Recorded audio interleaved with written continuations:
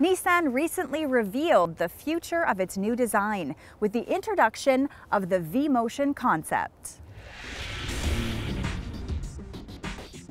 This concept car was the winner of the 2017 Eyes on Design Award for Best Concept Vehicle, as well as the award for Best Innovative Use of Color, Graphics, and Materials at the North American International Auto Show. The whole idea was to show what the future holds in terms of style, design, comfort, and technology.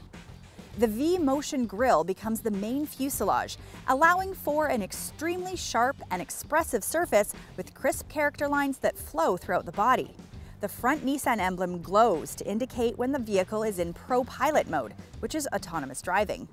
The front and rear doors swing outward, creating a large pillarless open space.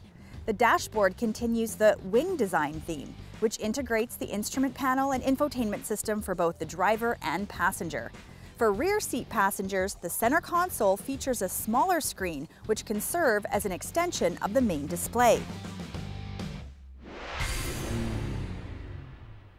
Nissan has been one of the leaders in electrification and autonomous driving, so a concept like this shows what a vehicle with this type of technology might look like.